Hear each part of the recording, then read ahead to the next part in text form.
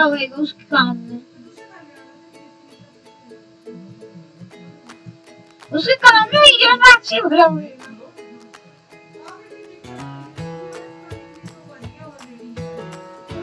लगी है।